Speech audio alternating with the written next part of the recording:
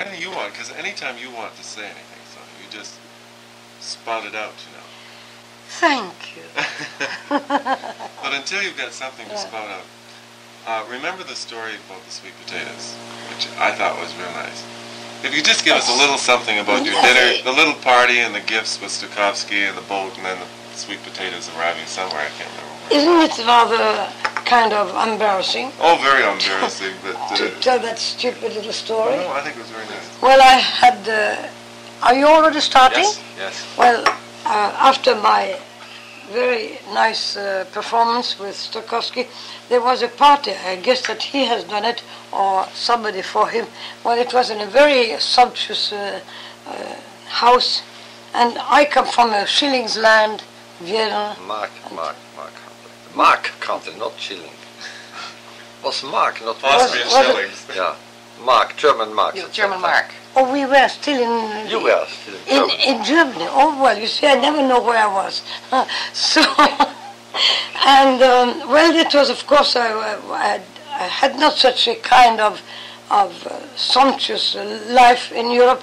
So when I was there, was uh, you could impress me with anything that I didn't have or saw it at home. And then uh, in that party, uh, full of questions, of course, and full of nice uh, compliments. But when dinner, uh, the dinner time came, then we first I wanted to sit, and I couldn't sit before because uh, gentleman did hold my chair very, very strongly, so that I, he was was waiting that I sit on it. It never happened to me before. And so, well, then I pulled my thing, and it was, I couldn't pull my chair because he had it in his hands. and so, well, then after all, we, I, I sat. And then there was a beautiful set with lots of cutlers, uh, right on the right side and on the left side, uh, qu- quite a few. And uh, I had the uh, présence d'esprit, to, not to show that I felt uh, surprised or embarrassed. And I said, oh, that's very nice. I see that you have all kinds of cutlets. And which are now for the bread? because they didn't have it. I knew that I will em- embarrass them. and then I saw the, the soup. I didn't know it was soup. I thought it was something else. I took off the lid. I never had uh, my soup covered, but that was very thoughtful so that the soup, uh, after that we have been speaking so much and uh, standing so long, because always the cocktails and all kinds of things what happened before, it's rather long. And suddenly they say now it is dinner time and we sit down and I lift up the lid and I saw a beautiful uh, soup in it, but what impressed me mostly, it is that because that I knew about because uh, I was brought up to see what is fake and what is not fake. The China, the Chinese or China, the porce- China. porcelain, uh, uh, China was uh, a, a real thin and beautiful one. So I was very careful to uh, take off the lid, carefully to not break it, because I saw that it was a museum piece which was uh, used. And then uh, that was all. Uh, the impression was they asked me so many questions that I was very slow eating because you can't. I was taught, brought up not to talk when I have my, when I'm eating. What And this is- sweet potatoes? Ah, yeah, then we got uh, sweet potatoes, and I never ate sweet potatoes any time before. And I said, "Oh, that is fantastic. Uh, uh, really grows in your country." Oh, yes, we have that. We have fields of it also. And the day when I had to part uh, from from, Europe, from America to go back to Europe, they asked me what I would very much like to have on the ship. I said, oh, I- if it is not too inconvenient, could I have a, a couple, a little bag with uh, sweet potatoes? Oh, yes, that you can really have. It is very easy to be done. Now, on the, on the ship, I didn't get the sweet potatoes. I got so many other things. I got a plaid, and I got what was most important, a bag for my scores with lots of uh, uh, Buttons. Compartments. Compartments inside. So it was so easy. That was for the chamber music. That was for, for the orchestra scores, and so it was. That was a lovely. I had that. I think I had. You saw it. many years and years, years. It was such a good leather, such good quality, and I got so many things, and even cosmetic. I got for the first time pound. You didn't even need it at that time. Uh, No, I didn't even need it, but uh, they gave it to me. Or perhaps there was uh, foresighting that they said I will need it one day. What kind of stuff? Pound cream What is what? for the day. Pond. cream. Pond. Pound. Oh, yes. Pound. Pond's cream. Pond's cream. Pounds. Well, I got it. And then I came to, um to Europe, and everything was there. Oh, I got cutlers because I spoke about cutlers. And I never had a round spoon in my life. And I got so 12 round spoons. I think two or three are left. You still have some, yeah. yes. And these, all these things are very good quality, but no sweet potatoes. I said, oh, well, they will have forgotten it. Never mind. Oh, there are so many of our friends go to and fro to America. I will always have the opportunity to tell, could you bring me a few sweet potatoes? And then, uh, not very long after, not, not very far away off from that time, I got a big bag, you know, a big bag of, of sweet potatoes. I was so delighted. Well, that is the story of the sweet potatoes. From Stokowski, yeah. That was from Tchaikovsky. and another time, I got another parcel uh, that was at that time ten dollars. That was the first pa- uh, parcel that I got from the care care parcel. Oh, And Almost that was 20 years later, my dear. 20, late, uh, Twen- 20 yeah, years. but Yes, I'm so part, glad that. I have my biograph because I mix up always the, ti- the time, the time, time. and I also mix up the time, the the times and the place where I was was. Vienna. Surely, in yeah, Vienna. Vienna, and I got the I got a very nice parcel. We were so happy to have all that what was in it, and it was Menuhin. So that was also very very nice. That was my first care pa- uh, pa- parcel. Well, that's also a little story. Now something else happened with Stokowski regarding the concerto and the horns Yes, and uh, that is very true, and it is a thing that, if I would say that in my words, he would not be uh, very happy to hear it. Perhaps he will not see that uh, this. He will not hear what I'm going to say. Well, you know, uh, I have never had any teacher for composition, and also never had for scoring. But uh, I happened to have that Berlioz uh, book, and I studied it very carefully because I wanted to have my um, my piano concerto well scored, and I said if if it's good enough for Berlioz, that might also do for me. And then I studied it, but it was an old-fashioned horns Um, uh, uh, uh, rubric, comment on the part of that book, where the horns were specially um, mentioned, and they were all in different keys. It was a horrible thing for me to do, to transpose all the horns in, in different keys. I manage, of course, because when I want something, I, I make it. And when I came there, every hornist got his part. And there was a terrible discussion between Stokowski and the hornist. What do you have? What, what is the complaint? Oh, I said, well, my horn is on, my, my, my key the, my, is on the second line. And mine is on the third line. Oh, mm. and you can't read it. Well, I'm not used to it. But you, you can't you transpose? Oh, sure. And then it went, but it went very difficultly. And they, they, they played all the harmonies. Uh, I must say it's very praisable. You can, you can give anything you want to a philharmonist. You can even put the, their parts upside down. They will read it. And uh, when the rehearsal was at the end, the first rehearsal, Stokowski said to me, you know, I think, Sonia, you have to do something about it. Can't you rewrite all that in one key? Now, Stokowski was in, I was only 27 years old, and he was in, uh, you know, when you are only a young person, the other one seems to be very, very aged, also if he was not so far away off. But experienced conductor. But he really was an experienced conductor. He should have known what that means that in five days I have to put all that right. I mean, to, transp- to transpose it over again. He didn't give me any help, nobody from, this, from the uh, orchestra to help me to do that. It is, a, it is a matter for a copyist to do that, not for the composer. He knew it and he let me there. Well, I didn't know it. My dear, may I interrupt here? Yes. It's not fair of you. He asked you, do you need the help? But you were too proud and too arrogant. And said, oh, no, no, I can do it all by myself, you know. That's a story as far as I know it. Yes, but uh, there is a little point to that. Uh, I, I thought that he would think that I can't transpose. Again, she was too arrogant, yeah. And I can transpose, so I said, I don't need any help. I can transpose that myself. And then when I came, it was five days and five nights. I had all my food coming, I mean, uh, not, no food, uh, my coffee and my, my toast, always brought up to, the, uh, to my room.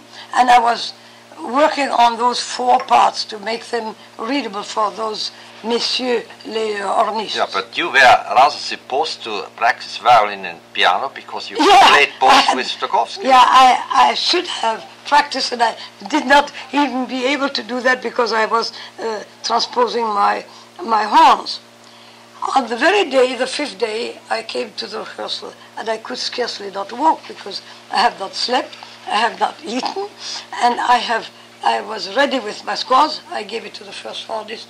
I gave it to the second hornist. I gave it to They were all very pleased. Ah, now, oh yes, madam, we are now, now we are satisfied. Oh yes, I can play that. And then, uh, when I came on the stage, Stokowski said, "What's the matter with you, Sonia? What's the matter? You are uh, uh, how you call that? Shaky. Shaky. Shaky. Uh, well, I have not slept five days five nights, and so, but I'm ready. I have done it.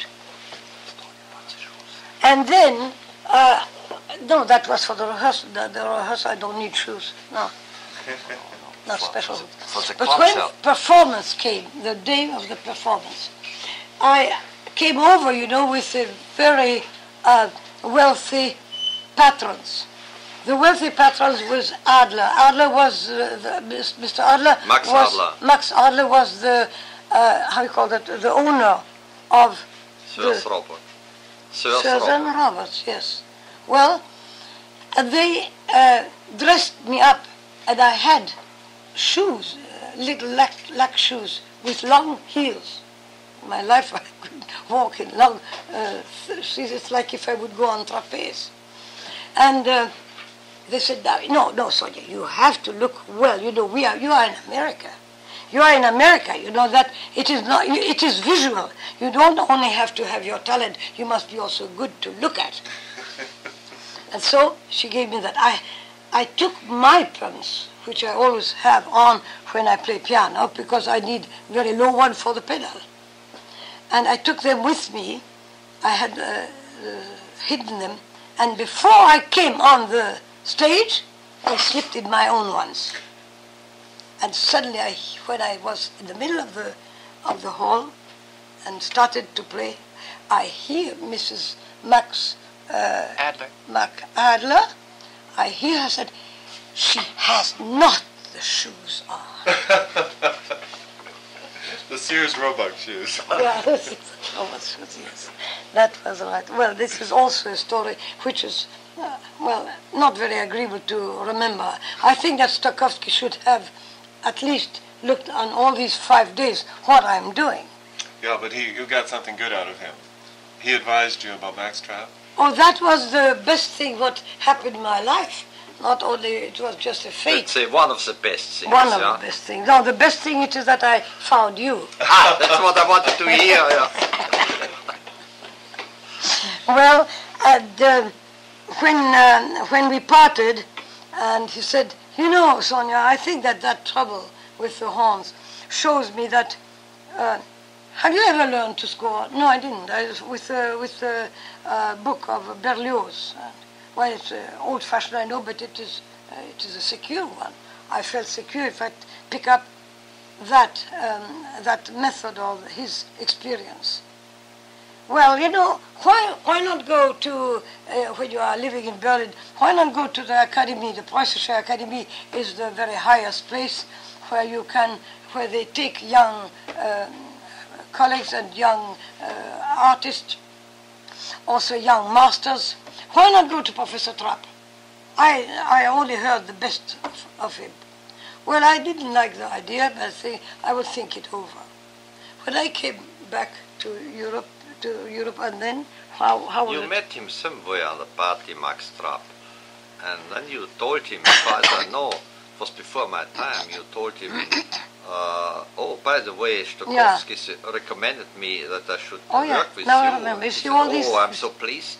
Uh, by the way, when Stokowski recommended to you, he was not yet professor at the academy, but uh, when he met you in the 40s, in the 1930s, he said, "Oh, I'm just appointed the professor at the academy, and I can take you in my master class, and I'll be very happy Oh to yes, I do remember. uh, work with you." What a memory.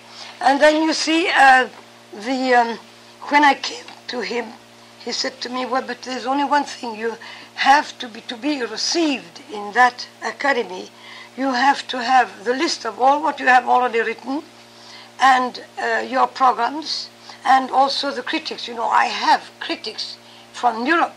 Well, they are such good ones that I thought that uh, I, I, started to believe in myself. In my, myself, you know, I, I thought I really fell from the heaven. And um, I, I brought all that, and of course I was one of those chosen like that immediately. And um, I hadn't to pay anything, and here I was suddenly for six years. Well, I will never regret that time. And when I came for the first Wednesday, the first Wednesday, he said, I can't teach you to compose because you are a composer yourself and you know what you're doing.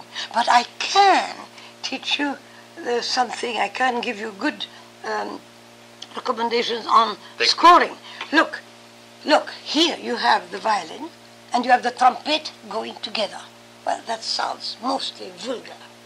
Well, you know, you have only to tell that once. I don't even need to repeat that. I put it in my ears and I never did it again. Well, so those um, indications are very uh, precious for a young uh, composer to to ride on the experience of somebody else. I don't know what is still interesting. Would you like to tell us about riding on the experience of um, Fischer? Oh, Edwin Fischer was a very unique personality. You know, he was like uh, they used to say, he was Beethoven uh, incorporating, and so he was uh, Beethoven himself. when he played, uh, he was also a, a Beethoven interpreter, and uh, uh, well, he was so much in the in the spirit of Beethoven that before he went to the on the stage, he took his hair, he looked at at the at the uh, mirror, and he did that. and, and Schneiderhan, who played me so And there was nobody there you could just ask them to sneak in after midnight like Watergate and talk. Yeah, yeah, yeah. That We had have lots of been right experience, thing. yes. Sometimes the Watergate is really. And this, this is the one, and the second one is It's the second piano concerto, which rock, she played with uh, lovely Joachim, you know, and all Joachim over, conducting, and there was no, there was no Very radio performance. It was only performed twice in And they're three nice. days. and uh, and there was no tape, so I we never had. But these are the two major works which are never performed. Well, which are never Practically all No, I agree performed with on tape. more or less. Except they do have good orchestras and. Yeah, Yeah. yeah. But the first, the first piano concerto was the one that your, your landlady next door sent the. Oh yes, Yeah. yeah, yeah. Sent the roses. yeah. So that's another story we didn't have. Yeah, Uh, and I- Tell me, was one of tell my- me, have my you have biggest, you heard her interpretation of her violin sonata song, or her violin caprice song? Yeah, I have Can heard. you put your glass on that? Violin Because caprices on it's piano. my Okay. working table, Sure. and it makes rings. I showed it to you. I did this summer. You know, she wrote ten violin solo caprices, and uh, well, that's right. You told me about it. yeah, and four of them were played by her, and I have them on old records, but transferred them on tapes. They are On poor, violin. poor, yeah. played by her in Berlin. And uh, last summer, Richie, you know, was interested and still is interested in the in caprices. So she, re- I would say she transferred some wrote some new and so and so and so. I have them on So I said, and she always said, you know you know, nobody can interpret really this, soft. and I knew it. This caprice, like I Yeah. knew. it. So what are you doing? You can't play them anymore. So I said, I play tell the piano, and she played Okay. on the piano. And we took three of them on the piano. and do like that. You know, Just a moment. You took those That to was it. Three. Yes, he took them and then he made me And he, he took that Who and they are so marked, they are so he's marvelous acting like a piano. layman. She really Whoever does that, the the paper must stay straight, and it is excellent. And not He only that, that. more that they're going to- man. there's still He's put really some more such a on. big He said the three but were left. very small person. are not difficult for interpretation. Oh. He says they are so easy or so So that's marvelous. Sometime I'd like to hear what you did with the piano version of the Caprices. You Yeah, know, I have- and, and I have it here. Tsutsumi, I can show them. And Tsutsumi, you know, who inspired her to, to make one of her violin caprices for a cello, you know. With orchestra. We, with yeah, we showed him that, and from that he wanted it on, on the thing. However, Sonia did not transfer just I could the make it for uh, thing, cello but she said. I can't make for cello alone, so But she made for cello enough. plus rocket. So now I have a new piece, Lovely. but I'm not giving it away because it's not yet commissioned. He wanted to commission, you know, the composer is nobody. Uh, I can't commission like Shostakovich. Shostakovich has only to tell to the Russian government, I have a symphony in my head, and then he gets one year paid at the dacha and on the, on the, on the Red Sea, and then he can compose with the dacha, with all his family, the family and with the dogs, all what he had. All that paid for one year. But that's the composer. I can't commission anything. I have to wait until I have Tsutsumi back, and if he likes it, he, wa- he wanted, he has ordered it. And then if he likes it, then he can tell. When he goes to Canada. Yeah, I Did know. I show you I how I know. ordered the tapes? Yeah. The what? How I ordered the tapes? Did I not show you? I don't think so. Then have a look here. Oh, you mean put them in order? Yeah. Oh, yes, yes, yes. Have you seen the them? great cataloging, yes. mhm. Now this All the that catalog, you know. You know, we are about two months and a half away from the gallery, what Eckhardt did. Uh, just We work more than ever since he Yeah, stepped well, down. Well, this is what you call a labor of love. So, Yeah, just a moment. Let's see. Let's see. Number 72. This Just a one. moment, 72.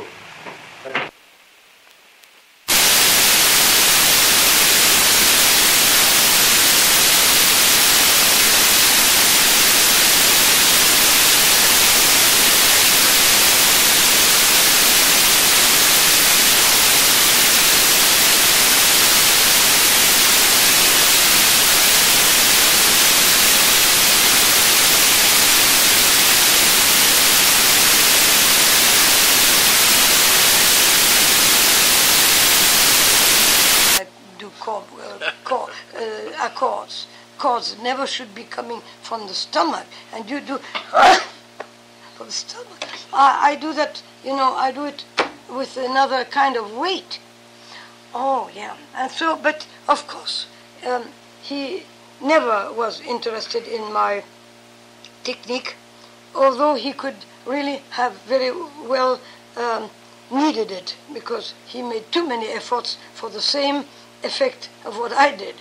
And then he said to me, I really don't know why uh, you uh, are able to play so much and uh, you have your violin, and how can you manage all that in one day?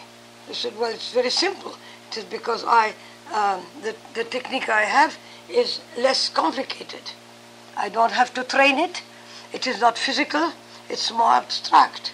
And I use the, the moves I have, what I need every day. And uh, to move a finger alone is un-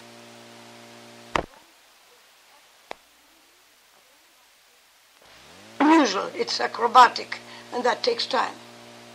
Uh, but Sonia, I think, uh, in all fairness to Edwin Fischer, you uh, you uh, made a few jokes about him now, but you really should pay tribute to his great musicality and how much you learned from him and how much he influenced you, exactly like Chagall. I think he was one of the few musical geniuses. Very right. Uh, one of the few musical geniuses you met who gave you this great feeling for musicality, and he uh, uh, praised it in yourself too. He said, uh, as you always told me, you, he said, I don't know how she can do such things. Yes, you see, I was not even so admiring Beethoven uh, as a young, very young person. I remember how when I had to play so many uh, sonatas and so, and my mother said, "Well, you, you, it is a great master. You have to love, love him. You can't." Uh, I said, "You can't force the love for something that you just don't want. I, don't- I don't want Beethoven," and. Uh, he brought me Beethoven much closer to me, so that after yet uh, now that even when I play uh, the uh, one of the sonatas which I um, is the most closest to me, uh, the Appassionata, I can analyze it. I think like nobody. So so close it is to me. And uh, you see, the Appassionata and the Kreutzer Sonate, I know them so much better, I think, than anyone else because I heard it before I was born. I was, while my mother was studying that, while she was uh, uh, studying that in Moscow, and of course, when I was born, I knew it already by heart. And you were playing them when? Yeah, it is. Uh, you know, it is a In very. Berlin, no? Yeah, I, on the same. I I played that on the same evening, and uh, but my mother said there's nothing so nothing to it uh, really, because uh, before I was when I was born, you know, before I I came myself, came the head of my violin first. Uh, you played some first in 1913, I think, in Berlin. On the same day yeah, with Claudio Arrau. yeah. On the same day. Oh, he had a concert too, yeah. He had on the same day. Of course, he had the evening. I had only the matinee. Who was that, son? Claudio Arrau. Hello. I was interested to ask you to speak about the. I, I think the son of the Adlers actually looked you up. Uh, up at Kenora, was it? We, that was a, that was a kind of uh, a special meeting because then the ring was closed. You know, the his father was my benefactor. How do you say that? Benefactor, yeah. Yeah. Yes, he was your Uh, patron. and um, when he he was suddenly one day he phoned to us. Just a few years ago, yeah. Yeah, he phoned you. Yeah, he phoned, yeah. Uh, is that the house of Gramatté? And of Sonia Gramatté. of Sonia Gramatté. And Eckhardt said, yes. Well, could I speak to her? No, she's not a moment here, but I'm her husband. Uh, you are your hus- uh, her husband, yes. So I can tell you uh, many things. And he was speaking with, with Eckhardt very long time, and it came out that we had a date. And the date was, he was, you know, the American come always to Kenora because they can fish, and they, it doesn't cost lots of money, and they know it is only sport. It's very cruel. They fish, and they throw the, the poor little animal away. Don't say such things from him, yeah. Uh, he might Amer- eat the fish. Who is, who is, who is American here? But uh, the, it could be a Oh, I'm so broadcast, sorry. I should shut up. Oh, oh terrible. Don't worry. We'll edit it. But you can cut it off. So that's good. Well, and then um, uh, at the at the end, you know, um, uh, the Americans who were there were very nice when they saw that I. You throw that away. Yes. Do you want them? Yes, I would like to have them. Uh, that's so fresh. I will never be able to buy it in a in in a store. Well, and I got so many fish that I could give all to my neighbors. Some, and I shared the beautiful uh, American sporty, sporty fishes. But you want to talk about uh, Robert Adler. Yes, and Max, when we yeah. were there, and if, uh, then he spoke, yes, I know, my father had this spleen. He had always so, uh, quite a few of the, of, No, but he wouldn't say spleen, Sonia. He spoke in very high tones from his father. No, no, he spoke in very high tones, and he was a young boy when you were in yeah, in, He uh, said- in, evidently uh, remembered in, you. uh, Chicago and remembered you very very well, and uh, uh, so he, And he said- felt he should he should see you again. Um, he heard from some mutual friends in Chicago that we were in Winnipeg, and therefore he phoned you. And he wanted to know what had happened with that, the one of, of the protege of his father. And that is why he was uh, uh, calling uh, Eckhardt. And also there was a, a special thing. It is that he was um, uh, a little bit curious to know if I'm still composing. Well, that that was a question which was uh, very, very uh, un, un, un, unimportant to ask me if I still compose because I would have never stopped. Is it that what you wanted? Yeah, no. But uh, you have uh, lost the con- you had lost the contact with the others completely during. The I lost you know? them completely, You and then I asked You saw a nephew of them, I think, uh, Hans Rosenwald, uh, once in Chicago, uh, several times in Chicago. Yeah. But you have lost the family completely. And Uh, they moved to. California, as far as I know. Yeah. It's The- the Adlers that are are actually are Ah. the patrons of Chicago, And the And they have the planetarium. planetarium. Yeah, The planetarium, He was the and the father was museum also of exact, science yeah, and industry. Yeah, but the, They- the they put a lot planetarium into Chicago. has the name of Max Yes, Adler. yes. mhm. This is a beautiful planetarium.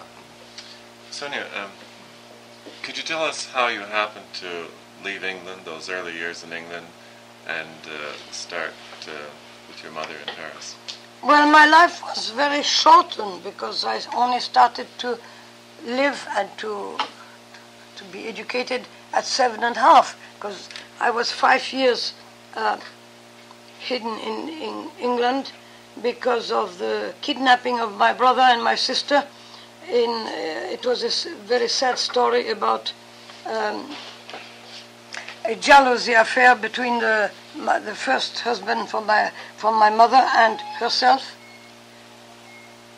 And so, uh, when I was born to replace my sister, uh, kind of a substitute, then when I was born and the first husband heard it, then he was um, threatening my mother, and this child will also be kidnapped. Well, you know, the Russians can kidnap somebody that you never, never know anything about that kidnapped person. is just vanished. And so I was five years there under uh, uh, complete and uh, another name. There are two people of my age who still knows uh, knew me when we went there. How many years ago? In 59 In '59. And I said, "Oh, you are Carmen Morris, aren't you?" Yes, I'm Carmen Morris. That was my first name. That was from your brother, Morris. No, No, no, No, No, it was one of the names. You know, I have, I have uh, several uh, ages and several names, so I don't even know exactly when I was born. I only have the last passport, and that's what I always say. It's one of my ages. Yeah, you don't even know if you exist, you know. Yeah, also not. Yeah, I'm more, a- more or less a legendary person. You have to touch me to see that I'm still here. I think you should speak about that in your in your childhood in England. Uh, all your exposure at you to our our our traditions, and uh, and that you know all the nursery stories of the. Oh, of I the know British. them all by heart. I know every nursery rhyme. So it is really uh, uh, this uh, that, that the truth that I know them all uh, shows that I have been there really living in a kindergarten. I know old Mother Hubbard, she went to the cupboard, or Jack and Jill went up the hill. I know them all. So I don't even know them in French, because when I was when I came uh, about five years old, I came just about around five years old to Paris. I was so sick and so underfed because I was always on my own in England, and I didn't like my foster parents, so I was never really fed. I fed myself and climbed all the trees to nourish me from fruits. So I'm really like a squirrel. I have been on. I was uh, the the frightening squirrel from all the, the neighbors. And there are so many stories about it that I told that one of them yesterday. I, Tell it again. Tell it again. once I came on one of the apples, uh, one of the trees which had the best apples. I knew the qualities very, very well because I knew each, I, I knew each tree. And so when I came, selective, yeah. uh, very selective. And when I was on the top one day, there suddenly came an old man with a gun. And I didn't notice him very much. It d- didn't trouble me. I was savoring my apple. And suddenly he said, You rat! And looked at me up. You rat, you just come down right now. I said, I'm not yet finished. I have not yet finished my goody apple. So, if you don't come right away now, I shoot you down. I looked at him down. I was on the better position. And I said to him, You just try. And so he went away. He wouldn't have shot me. I knew it. He was no murder, though.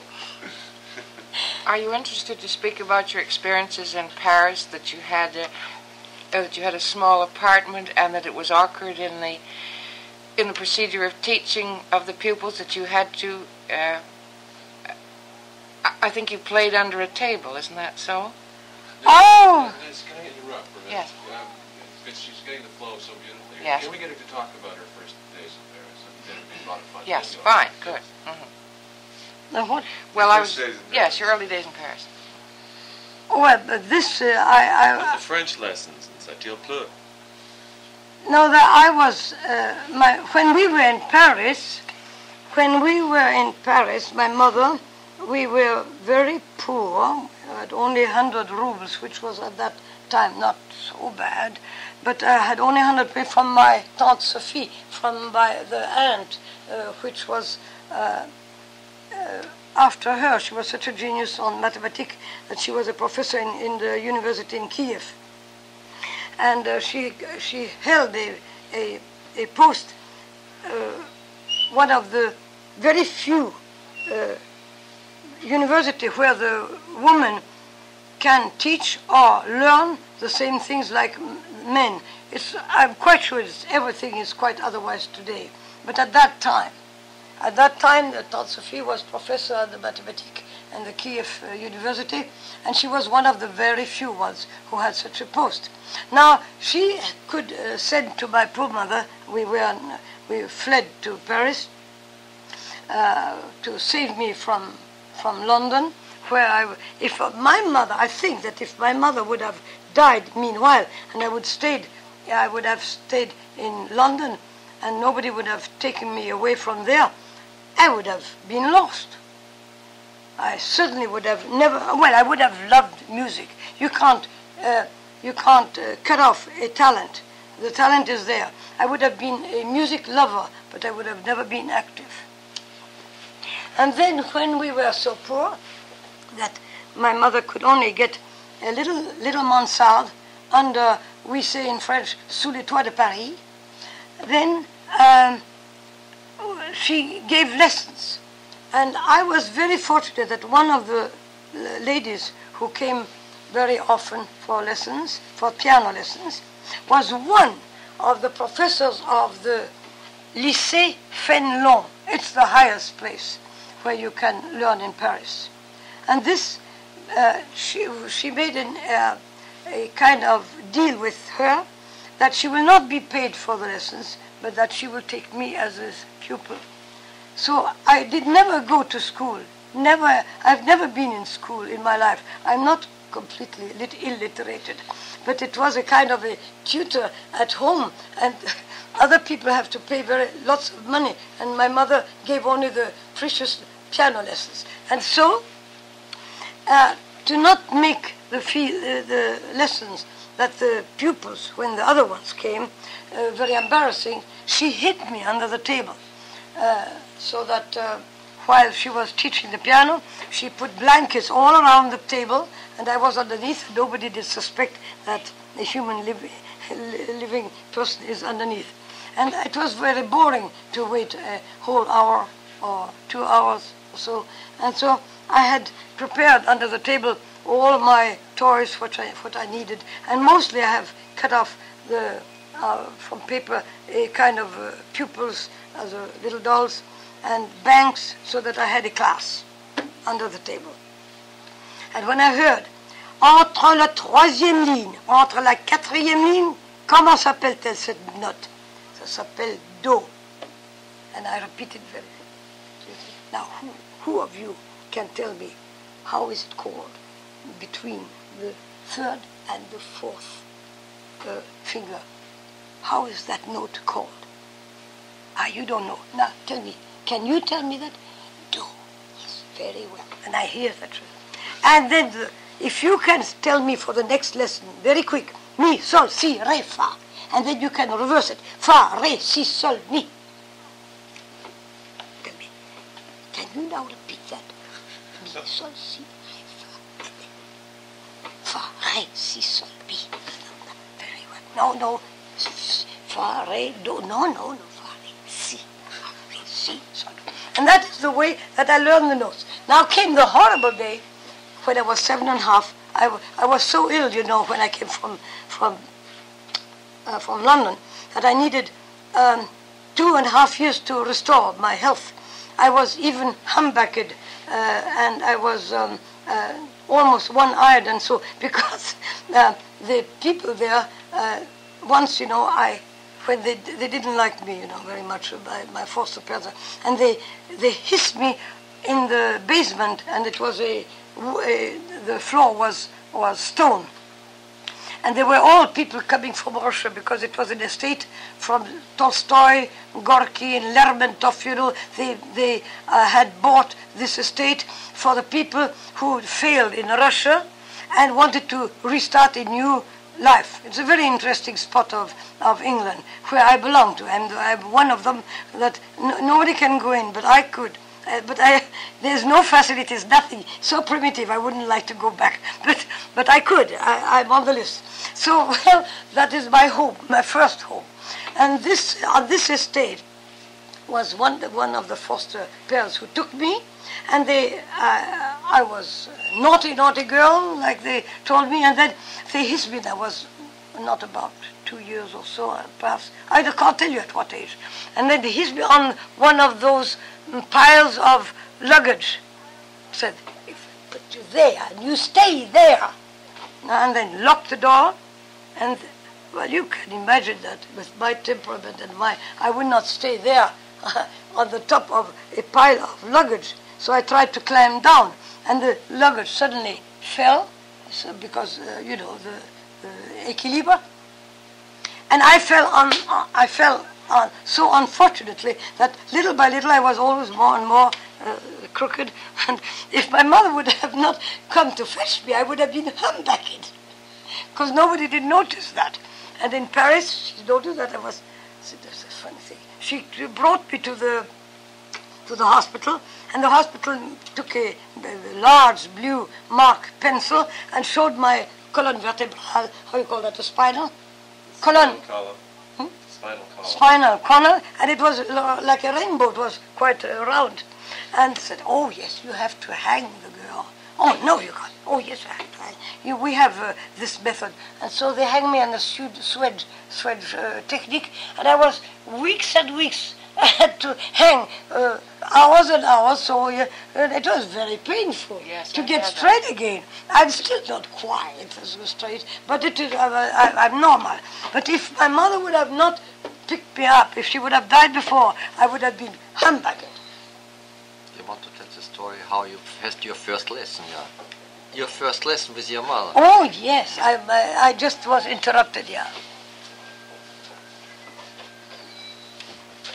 And um, my first lesson was uh, when I was seven and a half.